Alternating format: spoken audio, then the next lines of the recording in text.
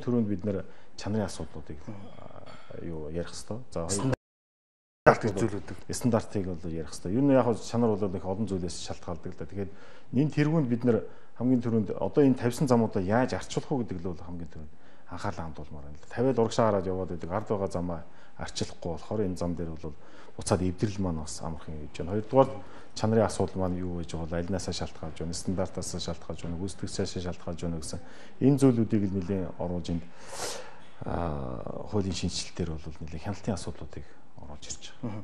Хяналтын асуудал дээр жишээлбэл арчилт дээр магадгүй зам тавих нэг хэрэг тийм үү. Тавьсны хандраа арчилт дээр жишээлбэл төсөв мөнгө байдгүй гэдэг асуудал их ярьдаг шүү дээ.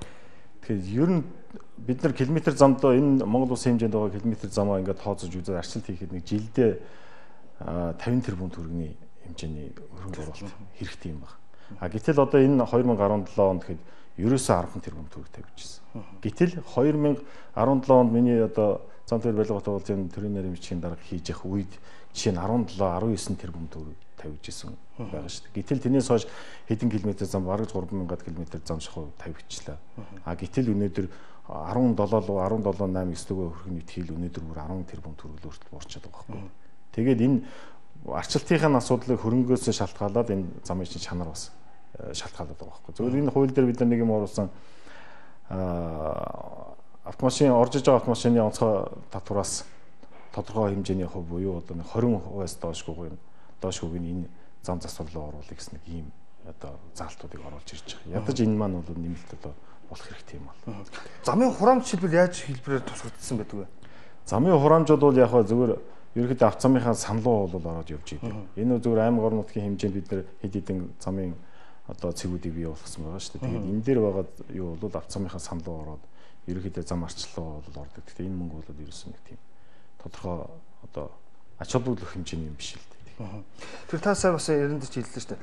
Энэ стандартд зүйл бас тодорхой хэмжээнд өөрчлөх ёстой гэдэг. Тэгвэл яг хуучин мөрдөж байгаа стандарт нь одоо явж байгаа автомашинтайгаа харьцуулах юм бол ерөөсөө энэ явж байгаа машиныхаа урсгал болоод нөгөө машиныхаа даацтай харьцуулах юм бол ерөөсөө боломжгүй болчихсон байна. Энэ стандартыг зайлшгүй өөрчлөө гэдэг шүү дээ. Тэгэхээр ер нь бол бид нар чинь энэ тооцооллын үндсэн дээр авцамыг тавих хэрэгтэй. Авцам ч өөрөө маш их өртөгтэй. Тэгэхээр энэ тавиханд бол энэ замаар хэдийн хэмжээний машин явж байна, ямар даацын машин явж байна, хэдийн хэмжээний эргэлт одоо эдийн засгт биднэрт өөрөөгөө авчрах бай гэдгээр бид нар тооцож тавьж байгаа байхгүй. Тэгэхээр өнөөдрийн одоо бидний яг хоо 5 сая бидний 100 заантай асфальттай ийм зам тавьж байгаа шүү дээ. Энэ маань бол хамгийн бага хэмжээгээр тооцсон зам байхгүй. Ер нь тэгээд хэрвээ энэ тооцоол нь эдийн засгийн өргөөжгүй гэж үзвэл ийшээгээ авц зам тавих болцоогүй гэж үздэг. Гэтэл ийм өргөн удам нутагтай одоо жишээ нь бид нар Баян онгорлоо жишээ нь тэр хол тавьж илвэн цаашаага одоо жишээ нь баруун тийшээгээ ховд ус ховд ус эдэргээ цаашаа ингэж явж илэн. Гэтэл цаашаа явах тусмаа чинь улам одоо ачаал нь багасаад улам одоо цөөхөн машин явдал болж ирнэ ш. Тэгэхээр эдийн засгийн ашиггүй гэх тэр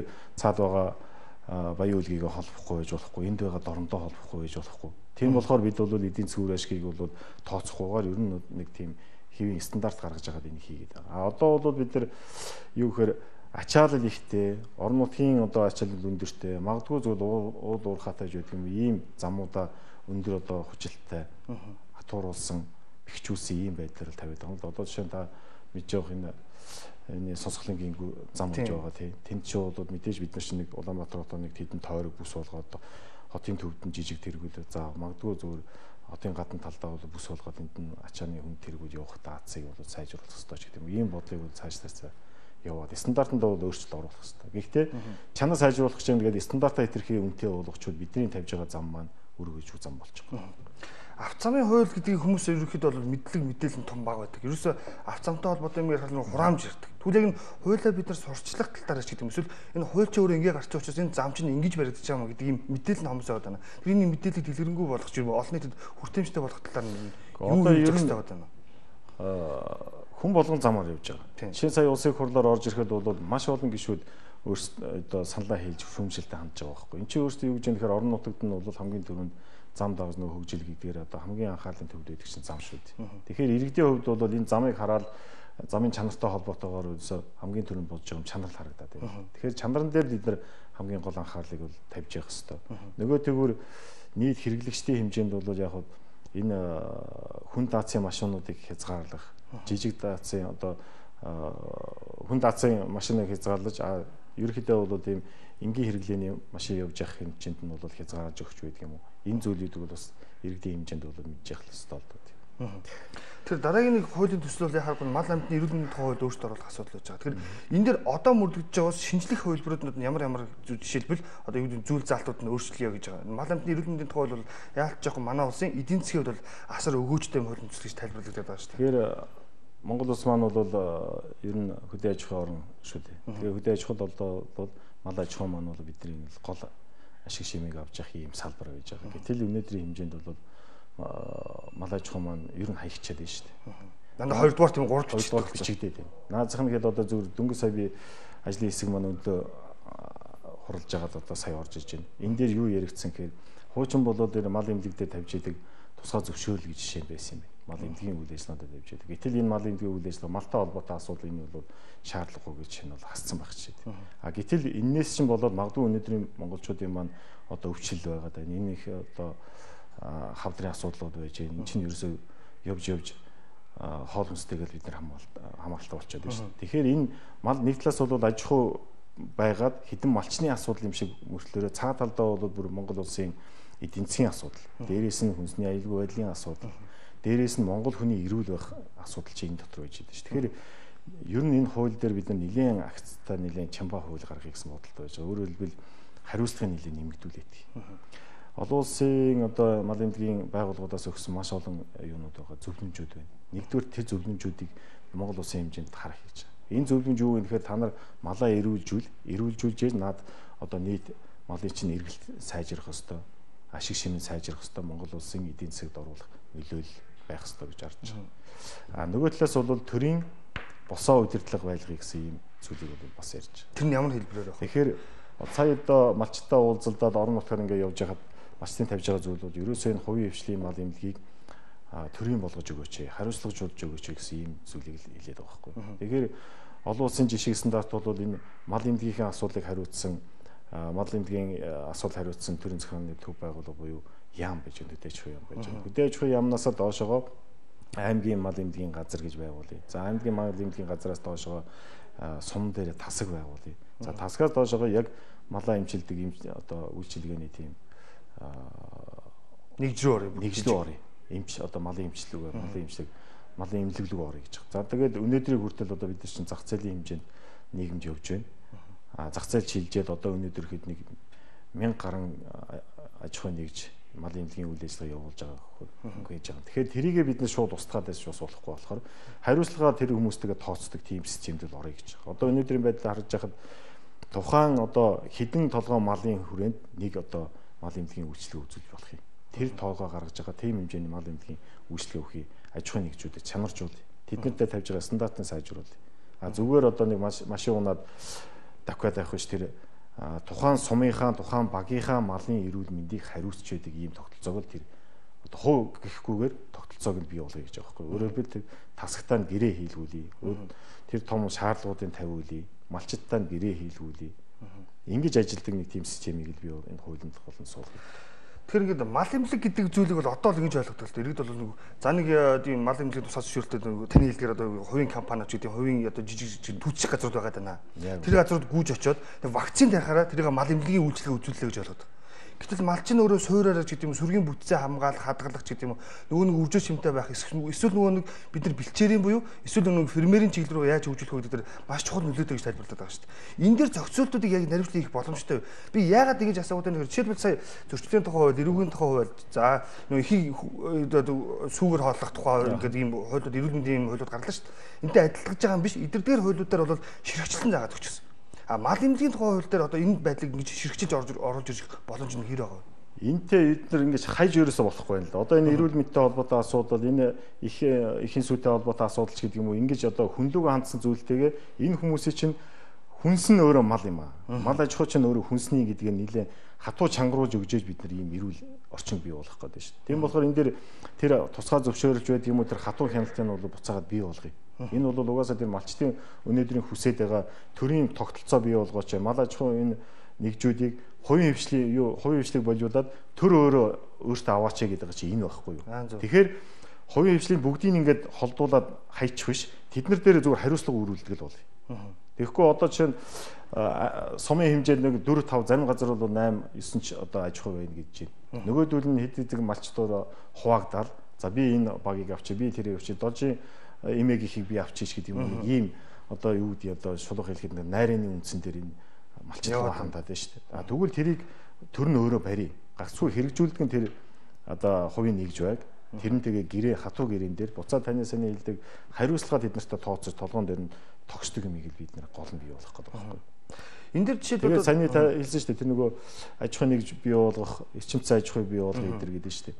Тэгээд энэ дээр чинь бас малын юу малын генетик нөөцийн тухай хууль гэж бас тусдаа гарч тусдаа салж ирнэ. Тусдаа салж орж иж байгаа. Энийгээ тусдаа бид нар авахгүй бол магадгүй нэг суман дээр генетикийн тал нь илүү яваад а мал эмдэг нь хаягддаг. Нэг суман дээр болохоор мал эмдэг нь яваад нөгөөх нь хаягддаг. Энэ чинь нэг байсан шүү дээ. Тийм болохоор тус тус нь хариуцлага тоосдог. Тус тусдаа энэ дээрээсээ удирдлага нь ингэж босоо байдлаар орё гэж байгаа. Гэтэ тэглээгээд босоо байдлаа гээд хөдөөж хүн сайд нь сумын одоо тасгийн эрхлэгчийг томлно гэсэн үг шүү дээ. А зүгээр хариуцлага зарчим а мэдээлэл дамждаг дамжиж явах зарчимч байдаг юм уу мэдээлэлээ өгөлцдөг системч байдаг юм уу бүртгэлэнч байдаг юм уу энэ нэг явъя гэж байгаа байхгүй. Мэдээллийн сан нэг болно. Мэдээллийн сан нэг болно. Хариуцлага нэг болно. а үйл ажиллагааны зохицолтоо нь бол нэг болно бид нар энийг ерөөсөө орон нутагт бид нар зөнд нь хайчаад байгаа байхгүй тэгэл тэр магадгүй зүгээр санаачлагтай сайтай аймгийн даргын хувьд бол нэг их нь арай гайгүй байждаг а өөр тийшээгээ анхаарлаа хандуулсан аймгийн дарга хөвд нөгөөх нь хаягдаа явчихдаг. Ийм байдлыг л бий болохгүй. Тэгээ мал эмзгийн тухай бол ягаад чухал болчиход байна гэхээр жишээлбэл Улаанбаатар хот гэж хэлэхдэх юм ч эсвэл төвсөрөн газрын хүмүүс бол төвсөрөн газрын ойролцоох малыг махыг ч гэдэг юм уу одоо хөдөө аж ахуйн гаралтай бүтээгдэхүүн хэрэглэж сонирхолтой болж эхэлж байна. Ягаад тэгэхээр Улаанбаатар хотын ойролцоо байгаа нь болохоор дандаа нэг фермерийн ч гэдэг юм эсвэл суурин аж ахуйн нэгжүүдийн тодорхой хэмжээний бордооны тий эсвэл нөгөө нэг одоо тижээлийн ийм малууд байгаад ирэхээр эргээд нөгөө хүнсний аюулгүй байдал чинь занл хийлсэн ийм үйлдэл болчиход. Тийм учраас хөдөө малчид руу очиж хөдөө малчид болохоор бид нар имплэгдээгүй байгаа малтай гэдэг юм асуудал үүсчихэд байгаа байхгүй. Тэгэхээр яг энэ асуудал дээр өөрөөр хэлбэл одоо жишээлбэл таасаа хариуцлагын тогтолцоо бий болгоё. Тэгвэл яг энэ дээр нөгөө оруулж ирж байгаа юм бэлтгэж гэдэг тухайн малаа эрүүлжүүлэх гэдэг юм уу те. Энэ дээр нь жишээлбэл хязгаарлалт нь одоо нэг найз маань бас хэлж исэн юунаас манай булганы тишгээс эрүүл ус шүү дээ. Тишгээс өхөр авч иддэг гэж яг таны наадхыг чинь хэлж байгаа байхгүй. Тэгэхээр бид нар явандаа бол бүр энэ нөгөө малчдаа итгэхгүй, энэ фермерүүдэд итгэхгүй ийм байдал орж шít.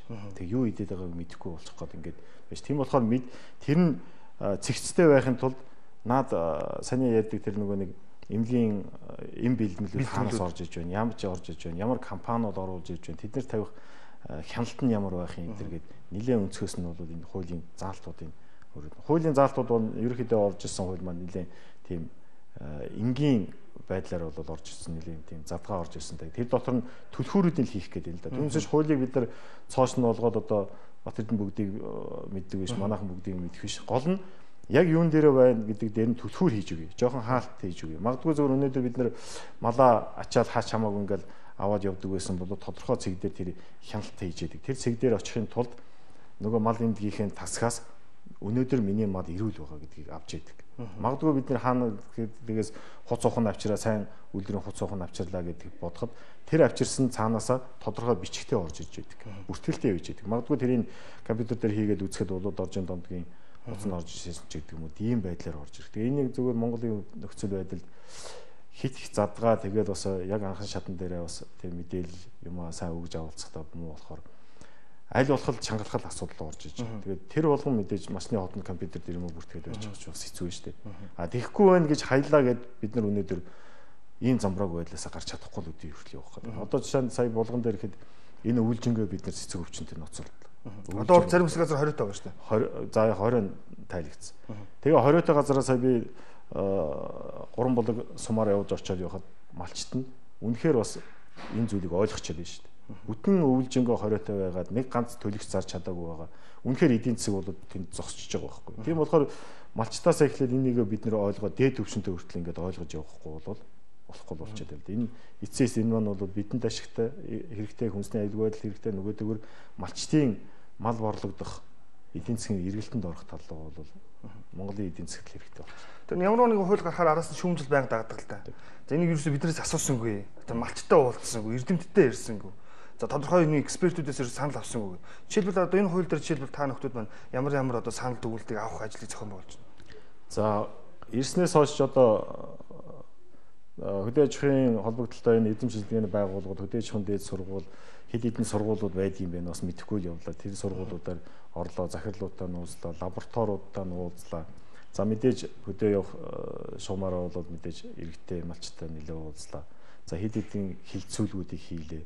За сүүлийн үед бол хоёр ч одоо ийм ажлын хэсэг бол гарцсан байж байгаа. Энэ ажлын хэсгийг хүрээнд нэлээд саналуудын цуглуулаа. Тэгээд ажлын хэсэг маань өглөө 8 хагасаас л одоо ингээл өдөрч бас өдөр болгонд нэг хэсэг хэсэг пунктээр нь авч байгаа л үзээ. Тэгээ болохгүй байгаа бол энэ буцааж нэг ганц хоёр хяналтын байгууллагуудад дотор уцтаж өмнөгийн байгаа байдал ер нь ирээдүйд яах гэсэн саналуудыг аваад тэгэл ингэж оруулж ирж байна. Тэгэхээр ярилцах цаг маань бас хомс учраас зарим зүйл бас жоохон өшөө дэлгэрэнгүй бас ярих гэж бодож байна. Сүүлүүд улс их хурлын чуулган дээр бол нэлээд олон хуулиудыг бол одоо шатараад хилцэж байгаа. Гэвч хилцэж байгаа хуулиуд маань чанаргүй гараад байна гэдэг шүүмжлийг эрсдэлтэй холбож тайлбарлаад байна. Та их хурлын гишүүн үнэ энэ эрсдэлтэй холбоотой өөрөөр хэлбэл хуралдаа хэр сууж байна?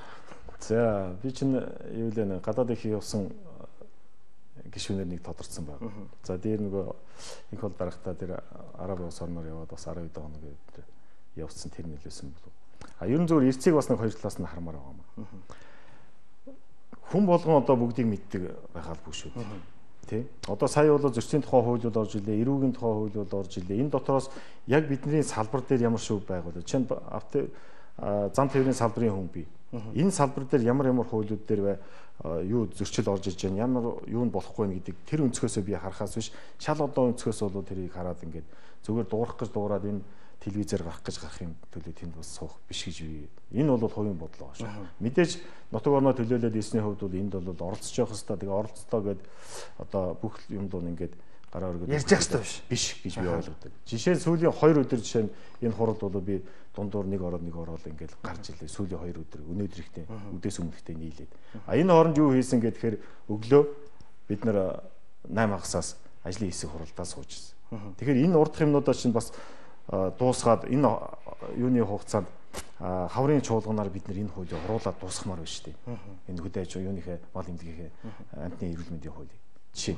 Тэгээд өглөөнөөс хойш баахан завгүй ингээд явж байгаа ийшээ ордоо тэгээд дундуур нэг хоёр удаа орж саналуудыг харчаа тэгэл гарч ирээд явж байгаа байхгүй. Тэгэхээр зөвхөн мэдээж иргэд маань иргэдээс сонгогдсны хувьд бол гişүүд маань бол сууж явах хэвээр суух ёстой. Энэ дээр бол би үгүйсгэж байгаа юм биш. А гэхдээ бас иймэрхүү зүйлүүд бас байх юм аа. Ер нь бол тий. Ер нь гişүүд маань хуультай танилцах хугацаанд ер нь хэр одоо боломжтой гэдэг юм. Зарим гişүүд бол би энэ хуульд арай танилцж амжиг байна гэж тайлбар өгөх хэрэгтэй шүү дээ.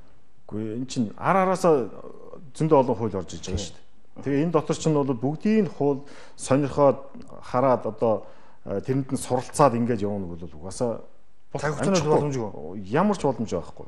А тэгэхээр өөрийнхөө гол гол мэддэг зүйлүүдээ хардаг зүйлүүдээ тэр хууль дотроос энд нь ийм зүйлүүд нь ямар ямар хэмжээнд байна гэхээс биш бүх хуулийг уншичаад энэ асуудал орно гэдэг нь угаасаа худлаа. Их хурлаа бид нар анх сонгуульд оролцохдоо хүртэл би хэлжил гişүүдээ хэлжил явсан. Би бүгдийг мэддэг одоо перфект одоо юу төгсүн биш ээ. Төгсүн биш ээ. А гэхдээ надад нэг л туршлага байна. Төрд ажиллаж байсан нэг туршлага байна. А хуулиуд ямар зарчмаар явах хэвээр туршлага байж байна. Хууль болон засгийн газрын хэмжээнд улсын их хурлуудад бүх уялдаа холбоог зохицуулах жишээ туршлага байж байна. Тэрнтэй өнөөдөр орж иж байгаа хууль засгийн газрын бодлого за тэгээд орж иж байгаа хуулийн дээр заалт юмнууд За тэгээ ирээдүйн Монгол улсын хөгжил хаашаа явах юм? Орон нутгийн хөгжил хаашаа явах юм? Ийм хідэн өнцгөөс нь бид нар юм харахгүй бол нэг үрчлэн юм ингээд уншаад байхад бол тэр бол утлаа л да. Тэгээ энийг бас ер нь иргэдээ бас хаяа нэг ингээд хэлчихгүй бол тэнд очиод зөвөр бүгдийг ингээд байж хэвээр юм шиг хүлээж аваад байдаг байж болохгүй. Тэгэхээр аа ганц нэгэн тийм суухгүй байх юунууд байгаа л юм л да. Шалтгаан юмнууд байгаа л да. Шалтгаан юм уу одоо шалтгаан юм уу? Жишээ нь ажлын хэсэг гэдэг чинь одоо бол 4 5 ажлын хэсэгт явж штэ. Ахалсан нь 2 болохоос биш Орос нь бол 4 5 ажлын хэсгүүд байгаа байхгүй. За тэгэхээр та бүхэн ярилцлага маань бас энэ хүрээд өндөрлөж байна бас цагийн асуудал тэр дундаа бас өөрийнхөө ахлан ажиллаж байгаа бас хуулийнхын талаар мэдээлэл өгснээр баярлалаа. За. За. Үзэгчдийн өнөөдрийн зочин ярилцлагын цаг маань энэ хүрээд өндөрлөж байна. Өнөөдрийн манай зочноор улсын хурлын гишүүн Батэрдэн оролцлоо.